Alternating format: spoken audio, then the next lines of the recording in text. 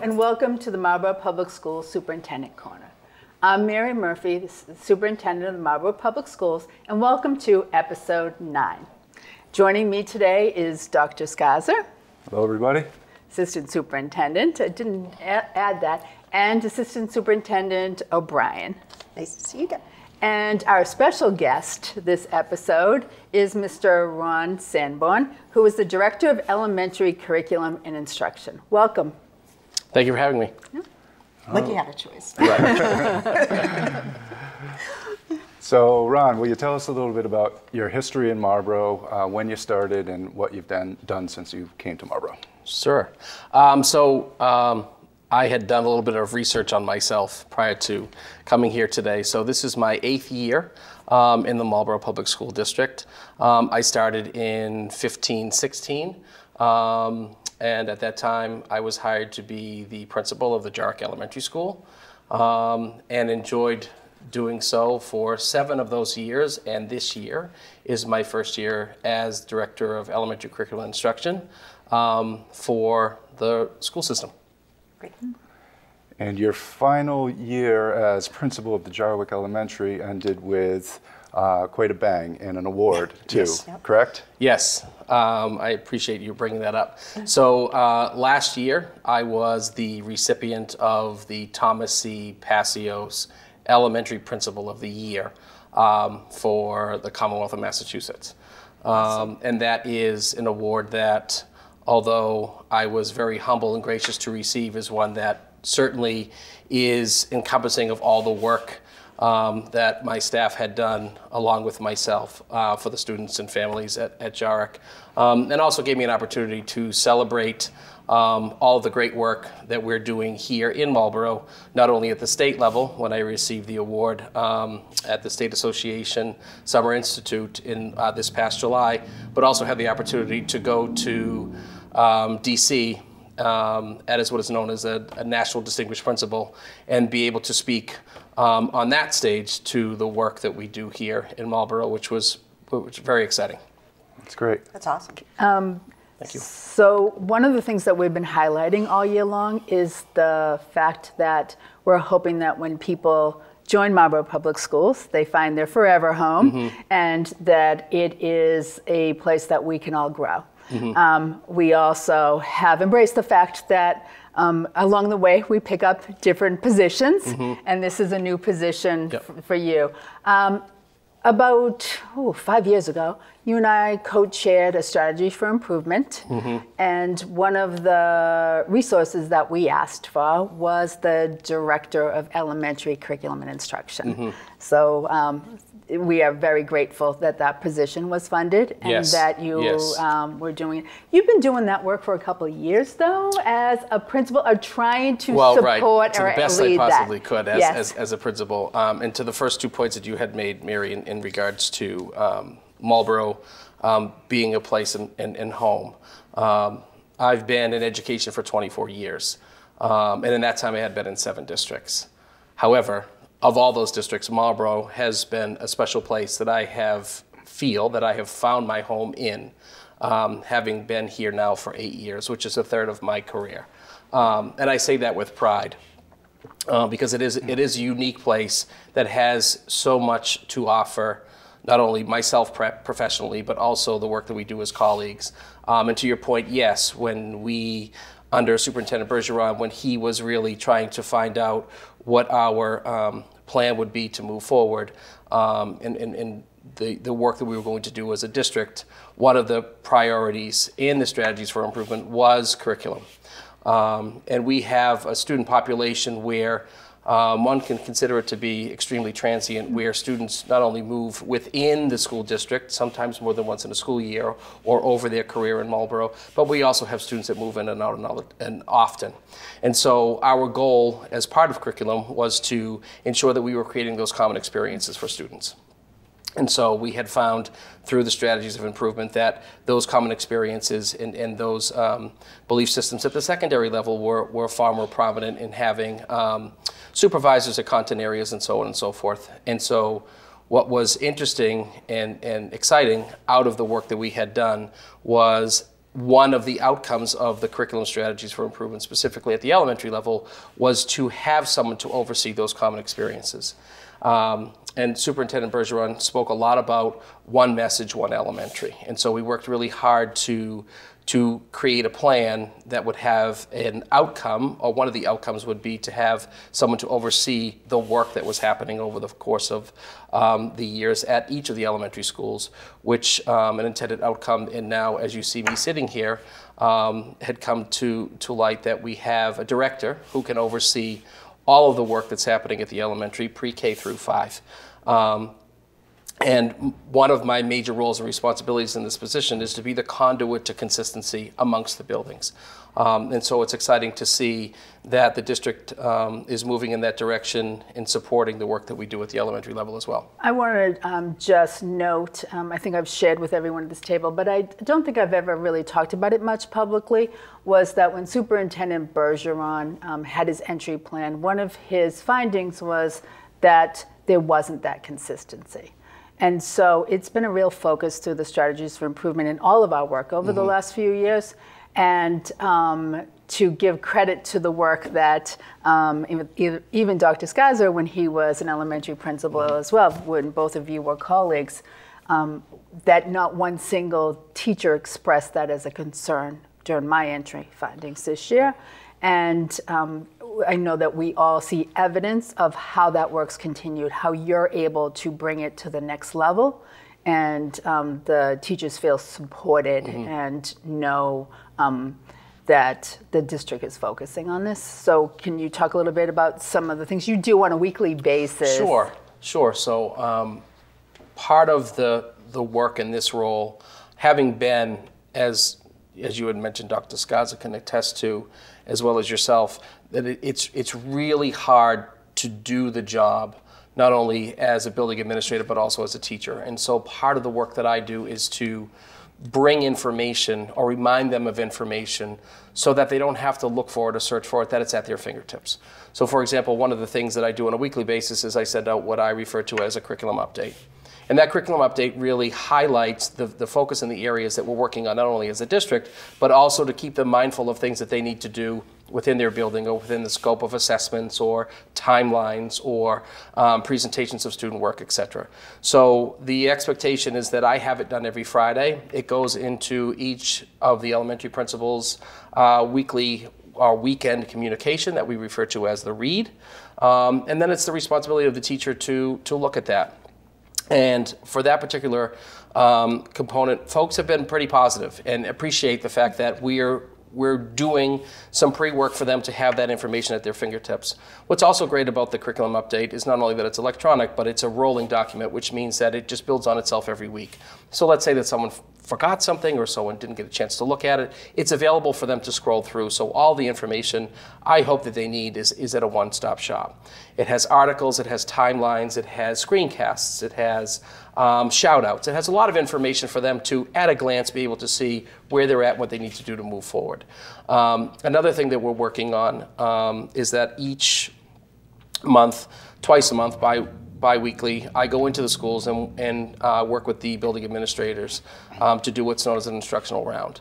And what we do and the, the role of the administration is when I come, they, we talk briefly about what it is that they want us to look at together. Um, we, they select a grade level and we go out and we do our observations. And then we come back and we calibrate what we saw. Um, and a lot of times, most times, we're, we're seeing some really, really good things happening. And so, how do we share that information with teachers? And, and how do we take what we've seen and we strengthen for the next time that we see or, or, or to increase student achievement? And those uh, rounds have been very positive too. Principals like to have a sounding board or someone to talk with. Their assistant principals, as well as their educational team leaders, are also involved, which they both appreciate um, in each of the buildings that, that we, we make the priority to do it as a team. So it also helps to calibrate the district leaders within the building so that we're all on the same page as what we're looking for and, and, and steps um, that we can strengthen you know, the work that we're doing together. And those walkthroughs that you're doing at the four elementary schools, you added the early childhood center yes. as, as well, which is, is definitely uh, a new support for them yep. to be able to look at curriculum. Um, you, could you talk a little bit about that, like pre-K and K and how they're sure. connected? Sure. So uh, I very much um, feel that pre-K is included in the elementary scope, um, and fought very and advocated very much so that they be like their sister schools, like everybody else. And so, although it does look a little bit different at, at the Early Childhood Center, um, it, it, it's a and it's an exciting and welcomed opportunity. Um, I have the um, I- I'm fortunate to work with Director Burnaby um, and um, Ms. Regan, who's the ETL there. Um, and we do the same, we, we, we focus on the same model that I do at the elementary schools at, at, at the pre K building as well. Um, and some really great things have happened from that. You know, it's, it's one of my favorite buildings to go into because the students are so friendly. They, they just, you're never a stranger to them. Whether they've met you multiple times or for the first time, they still want to come up and hug you. Um, and they want to know why I don't have any here and, and, and what am I doing in their, their space. So it's always, it's, it's pretty comical. But one of the, the greater outcomes has been that we really worked on uh, so far, trying to calibrate what the literacy instruction looks like at, at the pre-K level. So we're focusing on what we would call PK1 students, pre-K1. Those are the students that will immediately be going to um, kindergarten in the fall. And so what we were looking at is, is what would literacy look like in terms of not taking the individuality away from the teachers, um, understanding that purposeful play um, and, and the way that they integrate their thematic units is such a powerful piece to the Early Childhood Center and, and early childhood education. However, we want to make sure that there are common experiences happening there as well. So, in working with the director and, and, and the ETL, as well as with the lead teachers and, and, and the staff as a whole, we talked about what are our priorities? What are we going to look for when we see and we call what would be um, a literacy block at, at the pre K level? So, it includes some phonemic awareness, it includes uh, some phonics, it, can, it includes reading, it, and also includes movement. And so we've identified the particular resources that are available to all the teachers there that are supported and purchased by the district and how those could look like. And we've really mapped out what the time frames would be. And because the, the students are between four and five years old, time frame f- for all of those things to take place in each of those components are about mm-hmm. 10, 10 minutes each. But now we've established what a literacy block would look like for a 15 minute portion of the day. We'll move into math. We've been talking about what, what um, unstructured time looks like or, or play. And, and then, um, so we're, we're on the path to providing a, a program that is consistent no matter which of the rooms that your child would be in. So it's, it's, it's been rewarding and exciting. Yep.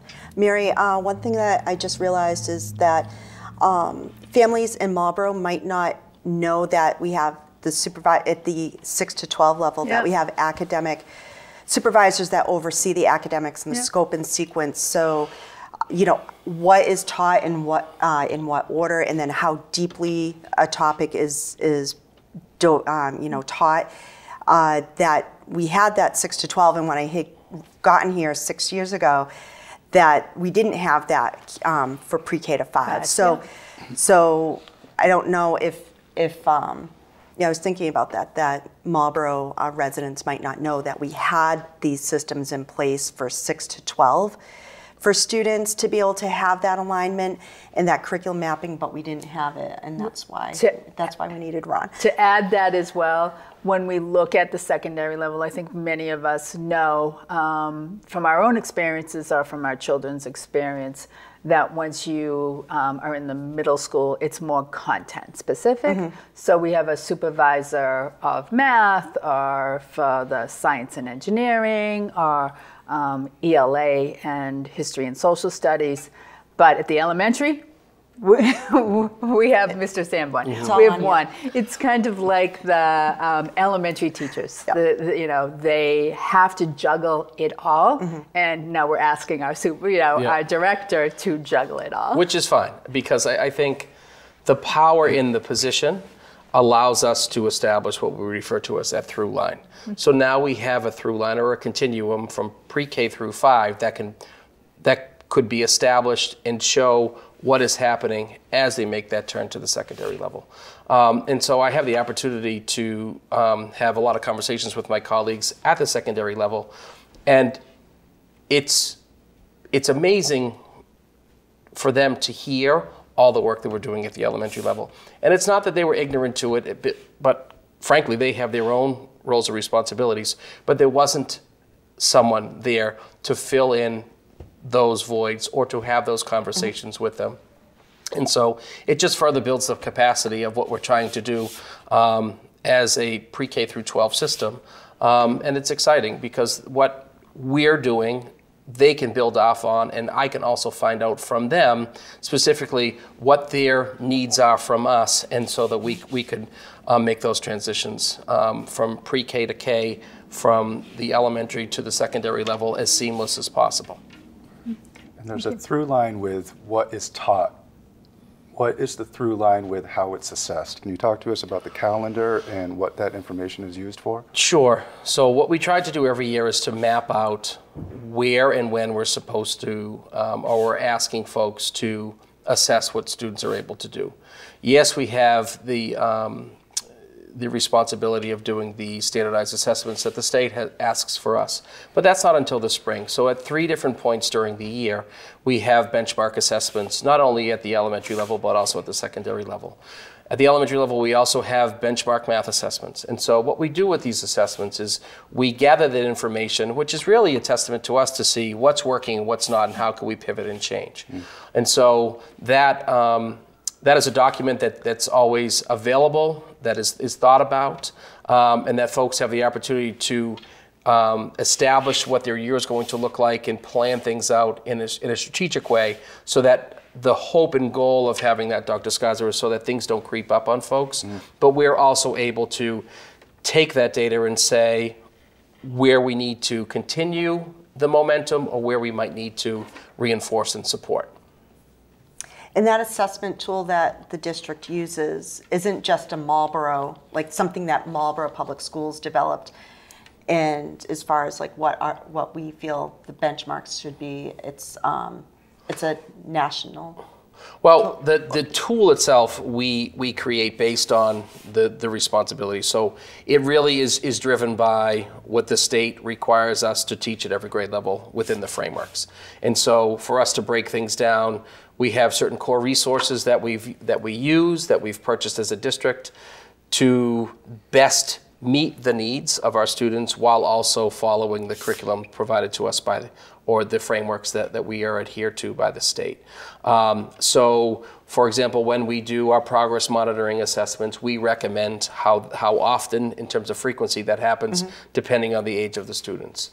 Um, when we are doing our universal screeners each year um, through NWEA, for example, we as a leadership team at both the elementary and the secondary level decide what what makes the most sense because there's a, within our own calendar there's there's certain parameters that some grade levels or, or some groups need to test before or after others but we're always in concert with each other and understanding what our windows are so that we're not over assessing students but we're also meeting the needs and the expectations and requirements that we're held to. And that NWEA is that measures skills versus I think the other thing that you um, were talking about was like curriculum-based measurements, like where teachers will put together like a unit test, um, which is measuring some of the content. Right.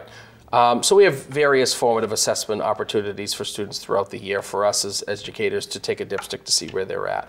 Um, so within our core programs, there are end of unit assessments or chapter tests, as if you will, um, that we use to, and we, we select certain questions from there to see how a student has done or a group of students do on a particular um, chapter or, or particular content. The NWEA, you're right, it's testing their skill set over time. So that particular assessment is showing us on a trajectory or a continuum that measures more like a ruler does. Where are they on that continuum towards, towards success? That tool will also give us projected growth. It'll also give us protect, uh, projected measures on other assessments like the MCAS or in the growth model as a student tests again from one fall testing window, let's say, to winter. Great, thank you. So one of the things that we talked about, we've been talking about too um, throughout the year, is that um, although technically you work closer with Dr. Skaza under um, teaching and learning, you also may work with um, Mrs. O'Brien or other members of the leadership team, for example, Mr. Um, Henry, on um, identifying interventions, uh, what tools we have that will meet the needs of the students. So other strategies for areas of strat- the strategies for improvement Mm-hmm.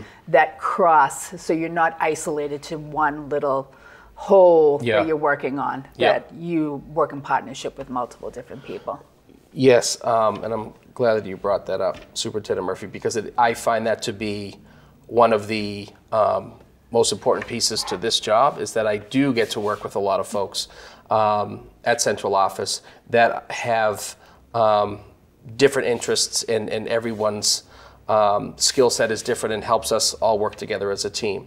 Um, but in addition to um, Assistant Superintendent O'Brien, as, as you mentioned, we've worked closely on, on um, some things most recently at the Early Childhood Center. You're right, the Director of Technology, um, Mr. Henry, is someone that um, I've learned to um, enjoy, and we were working very closely in um, attempting to align our Tier 1 um, supports for our students, and Tier 1 being what all students should receive in terms of curriculum um, on a daily basis. And so, again, as part of the strategies for improvement and enforcing, uh, not enforcing, and um, supporting those efforts and student achievement, we're, we're in the middle of a um, challenge to decide what is the best opportunity for our teachers to have to support students. We are uh, discovering that we have um, several options um, that we feel that at this particular point, streamlining those options to what, as Mr. Henry would refer to, as a suite of, of technology um, um, options, apps, availability, and interventions for students might be in our best interest. And so we're looking at what is available, um, not only um, for us to purchase, but also what we're currently using now. And if, and we're kind of um, in the midst of um, an audit to see are each of the programs that we're using are they the best fit for our students? Are they better fit for certain students and not all students? Um, and so our hopes um, very soon is to well we'll continue our conversations we've been meeting with, with dr skaza but but planning on a roadmap moving forward as to how we could best suit and strengthen the supports that we have available for our students. So I'd like to also think about it. One of the things that we'll be talking about a lot to our parents and community members that we have identified we want to have a consistent communication tool mm-hmm. from the teachers to the parents, mm-hmm. right? And so you learn about it in one grade level and it doesn't change every Right. year. So to a certain extent, um, having some more consistent of those interventions mm-hmm. or other tools so f- i- that if a student moves from one school to another, they'll know that Right. that same intervention tool is being used at both schools, right? So um, similar concept, not, not exactly the same, but trying to be consistent. It will help the students, and it hopefully it will help the families. And very true Yeah. very true I think Dr. Skaza, uh, talking about the, the interventions, once students are identified based on those assessments, uh, you have Title I funding that you oversee as far as collaborating with, um, um, with Mr. Sanborn and, and to be able to do, um, you know, some after-school programs, some summer programs. So I know the two of you are busy coordinating some of that. Yeah, I, I rely on Ron um, heavily to help get those uh, ideas up and running and functional. So when you talk about after-school programming, we just got some intervention offered to our grades three, four, and five students. That's after school with uh, transportation available, and we have been working on the referrals to the Title I Right. funded summer program as well. Um, and I know that you're working with a team. Uh, of interventionists as well when it comes to intervention during the school day. Do you want to just briefly talk to us Sure. about that team? Because I think Sure. they're really the boots on the ground group. Abs- absolutely. Um, there, so each of the elementary schools has a reading teacher and a math interventionist.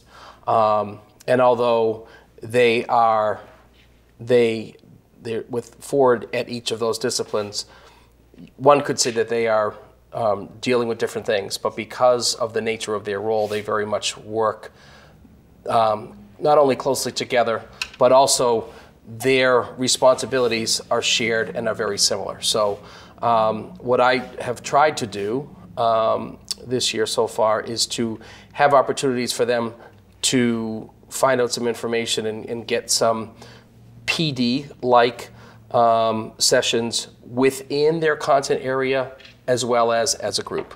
So um, Marlborough partners with several um, uh, companies. Um, some are data platforms, other are content um, specific. Um, and those two groups, the reading and math interventionists, they, they overlap a lot. And so they have to use those same platforms together. And we rely on them to support the teachers in the building. And we also appreciate what they're feeling, what they need, and what, what they tell us as to what's really working well and what might need some support. And so I provide opportunities for them to meet with these outside um, agencies as well as myself. And we've also included the instructional technology specialists as well to almost be a cohort or PLC in and of themselves because they are the ones, as, as Dr. Skaza had mentioned, they are the boots on the ground. They're working to support um, not only the staff in each of their buildings, but also the students. They are the experts, and we do rely and appreciate um, we on them, and we look forward to their feedback. Um, the last time that we had met, you know, Mr. Henry, mentioned by um, Superintendent Murphy, and I co-facilitated a meeting with them just on what interventions do you see, what are our needs as a district, and where do you see that we should we should move forward. So that really um, spearheaded our conversations and our research and looking at what we currently have in place and what we might need to use differently, so that we're we're we're trying to establish what's in the best interest of our students, but also understanding and appreciating those stakeholders and their opinions as well. So, was there anything that we didn't ask you that we should have asked you? Um, you didn't ask me if I'm having a good time, so I'm just going to tell you. Um, I do. I really enjoy this work and this role. Um, I, at one point in my career, thought that I could never leave being in a school or in a classroom with kids. Um, but I feel that the work that, that I'm doing in this position and the work that we're doing as a, as a district is, is so important um, and is making a difference. Uh, and I think that part of the reason that we are making such a difference is because we work so well together as a team. Um, we trust each other as people. We look forward to being in the same spaces as each other as, as professionals. And we have the opportunity to put the feelings at the door and ask the really tough questions to make sure that we're making the right decisions for kids. Um, and to be able to work in a team like that with the three of you and, and, the other members of central office isn't something that, or I can assure you, happens in, in every district. Um, but we're not perfect, but we always aim to do better today than we did yesterday. Um, and that's really exciting because ultimately everyone in Marlborough is doing what they feel is in the best interest of kids. Um, and we always strive to do what's right and reflect on what we've done and to see if we need to make some changes moving forward. But I am loving being in, in all the schools. I'm very um, available for, for the principals and understanding what that role is and how extremely challenging that can be. Um, so anything I can do to support them, to give them information, to give them data reports, to give them language so that they they have one less thing to do um, as, a, as a building principal, that's what we're there to do. Um, and, and it's just, it's been a very rewarding position and one that I'm very fortunate that exists and that I'm able to play a part in the Marlborough Public Schools. So thanks. Great. Yeah, thank you. And thank you for being with us no problem. this thank episode. You. Um, thank you for um, joining us for this episode of the Superintendent's Corner and see you next month. Thank you.